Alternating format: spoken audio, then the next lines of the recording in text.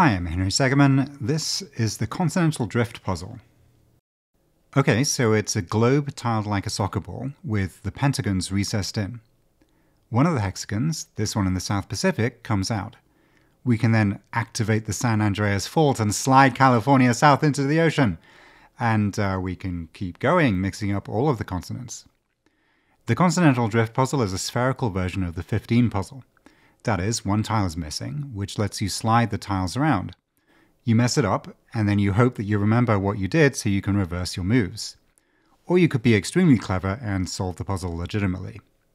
Or you can do what I do, which is unscrew this junction so you can take the tiles out and put them back in the right places. This puzzle is considerably harder than the 15 puzzle. To better illustrate why, let's look at this alternative flat version, which replaces the contents of the globe with Rubik's Cube style colored stickers. Each hexagonal tile has three colors, which point towards pentagons of the same color in the solved state. In the 15 puzzle, you can rotate three tiles and the gap around one of the corners, and you get back to the start after 12 moves. This makes sense, there are three tiles, and they each need to move four times to get back to where they started. You can do the same thing with four tiles and the gap around one of the pentagons here in the Continental Drift puzzle. Each of the four tiles needs to move five times to go around, and so we should be back to the start after 20 moves. Let's see what happens.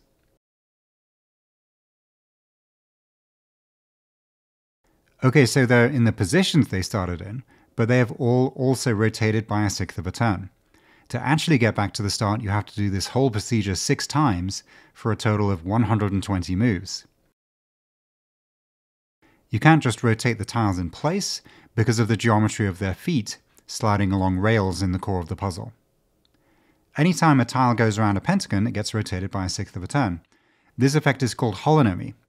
For much more on holonomy, check out my video on this puzzle, the dodecahedral holonomy maze. The continental drift puzzle is the same as this, but with no pegs to stop movement. Instead, there are 19 copies of the rook piece that get in each other's way. As a rough estimate of how complicated the puzzle is, we can try to count the number of possible states.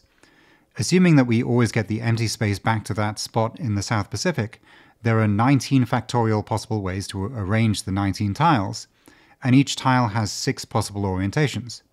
So there are at most 19 factorial times 6 to the power 19 states, which is around 7 times 10 to the power 31. For comparison, the Rubik's Cube has about the same number of moving parts, but only has around 4 times 10 to the power 19 states. The 15 puzzle famously has configurations that are not reachable. For example, there's no way to swap just the 14 and 15 tiles. What about the Continental Drift puzzle? I don't know whether or not all 19 factorial times 6 to the power 19 states are reachable. Perhaps someone in the comments can figure it out and let me know. The globe version of the puzzle tests your knowledge of geography. You have to know where each tile is supposed to go and which way it's supposed to be rotated. For an even harder geography challenge, this plain version doesn't have the color printing. All you have is where the land is. Without context, it's not easy to tell if, say, this tile is part of South Africa or Australia or South America.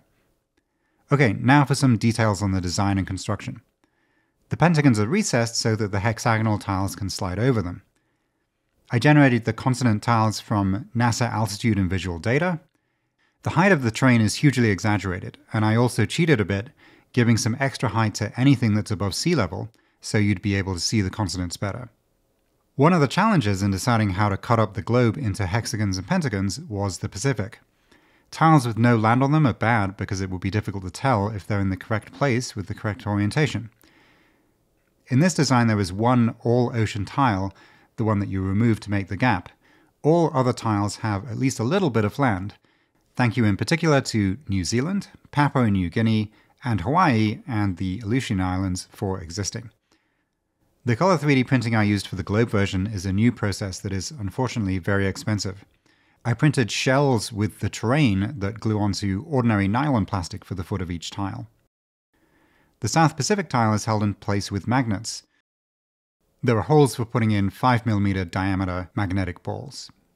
The Rubik's Cube style version is somewhat less expensive, although it still requires some post-processing.